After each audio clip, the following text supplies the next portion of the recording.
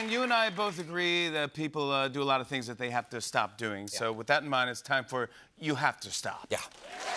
You have to stop. Hey, you have to stop making plans with me one month in advance. I'm gonna say yes because that does sound fun, but when the day comes, you know I'm gonna cancel with some made up excuse like I'm not feeling well. That's not true. I'm feeling great. I just don't wanna leave my house tonight. You have to stop. You have to stop whispering. That looks good at the movies after every trailer. Oh, that looks good. We know it looks good. That's, that's the job of the trailer, to make the movie look good. Even bad movies have good trailers.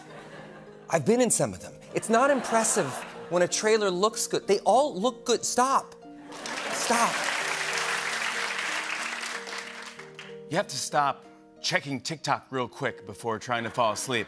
Oh, oh, you got in bed before midnight? Congrats. Oh, you're checking TikTok real quick? Well, now it's 2 a.m. and you're watching ring doorbell videos of mailmen being surprised with basket of Clif bars.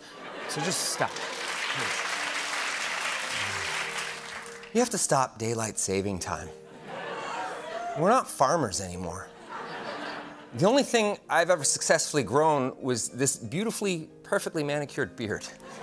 And guess what? My kids don't know what daylight savings is. And now they're getting up at 4 a.m. and I have to tell them it's because of farmers. So now my kids hate farmers. I mean, you're creating generations of kids who hate farmers. You have to stop. You have to stop posting screenshots with your phone battery on 1%. I'm not looking at what you posted, I'm looking to see that your phone needs to be charged. Where are you? Do you have access to a phone charger? Do you need to borrow one? I'm sending help, but you need to stop. And you know, you have to stop spending over 10 minutes scrolling for a TV show or a movie to watch. I mean, if you, if you can't figure it out after that amount of time, you're never going to. Just put on the Great British Baking Show and call it a night. That's what it's there for.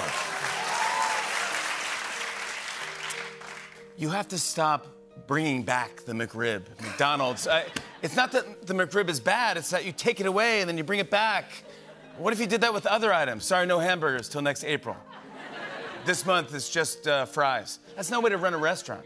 So just leave the McRib. Please focus on something more important, like fixing your ice cream machines. You know, you have to stop saying that you're going to move to Canada whenever you're mad at something in the US. As a Canadian, I'm sorry, but no, you can't. I know we're friendly, but Canada's not your safe house. I mean, we barely let Canadians into Canada anymore, so please, pick somewhere else. I hear, I hear Finland is really lovely this time of year. You have to stop. This has been You Have to Stop. My thanks to Ryan Reynolds. Hey, hey.